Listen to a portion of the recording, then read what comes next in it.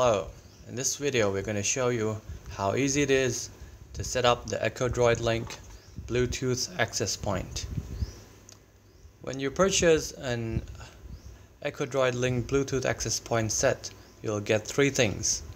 The Bluetooth access point itself, which has a, the Ethernet port right here, the Bluetooth dongle, and the power supply port right there it's quite hard to see under this flash but uh, you'll get the idea.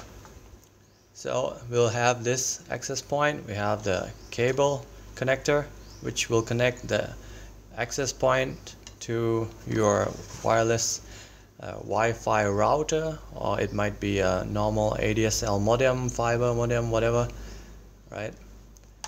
And the power supply so let's see how we set this thing up. It's very fairly simple. We just connect the power supply and the Ethernet cable and then that's it.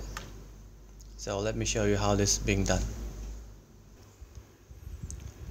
Okay, so I've connected my Ethernet cable to the uh, access point, the internet access point. It can be an ADSL or whatever which is your internet source which provides an Ethernet LAN connection. Just beware in some cases it would be written WAN, W-A-N, wide area network. Do not connect to that. Just connect to the LAN, L-A-N port. But this is fairly the uh, default port you would use when you're connecting your PC. Right, so that's it. Just connect this to the Ethernet port in front of the access point and then connect the power cable which you have plugged already plugged to the grid to the power port. Okay you can see it light up right now. What you're gonna do is that you need to I'm not uh, let us okay you can see it blinking right now. You need to wait until you see the blue light blinking here at the Bluetooth dongle which is already blinking right now. It takes only about less than 10 seconds to start. So this means we're good to go. The access point is ready. Okay, so here we have a Samsung S6. I'm sure there are so many other models that can work with the Bluetooth access point, but here we're just uh, showing you with the latest phone. So I've already entered airplane mode. You can see the icon here is showing the airplane. And then let's see how we connect to the Bluetooth access point for internet. So we can go to settings. You can uh, go either by the settings here or simply through the menu. Okay, just let's go the easier path, which is the menu. Go to the settings app. Okay, it's too too bright. Okay, we go to Bluetooth, and then as you can see now, Bluetooth is uh, off right? We just turn on the Bluetooth. Okay. Wait for it to scan just a few seconds for the EcoDroidLink. If it's not scanning you, your Bluetooth is already on you can press scan anytime from the button here. So you see there's scan and stop. So we just press scan again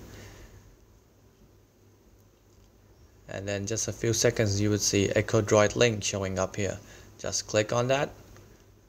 It would ask to confirm the pairing request. Just press OK.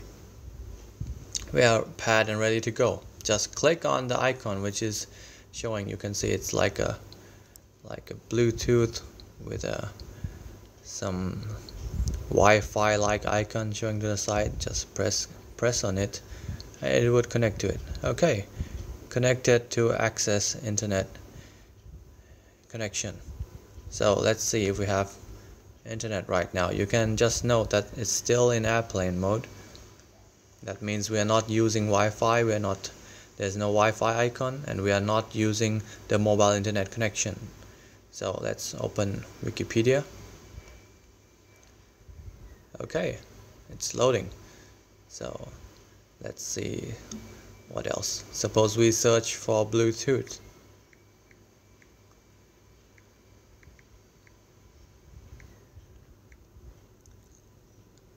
Okay, yeah, it's showing right now. I don't want to translate this page. Okay, let's change to English. Okay, there's a Bluetooth uh, results. Let's go to Bluetooth on Wikipedia. Everything's working quite fine. Let's do a YouTube test. Let's open some classic Mercedes uh, 300D videos, my favorite. Okay, auto test.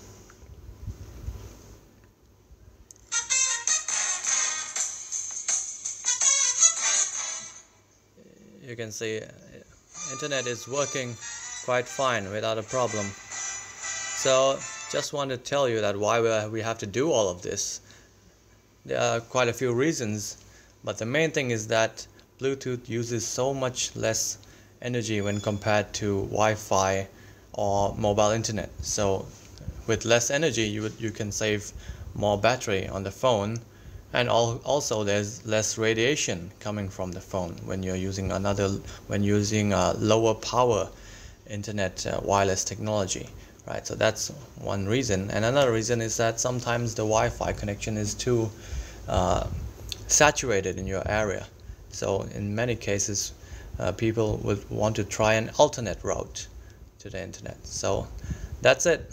Um, please uh, give it a try. Visit us at worldwideweb.clearevo.com and have a great day. Thanks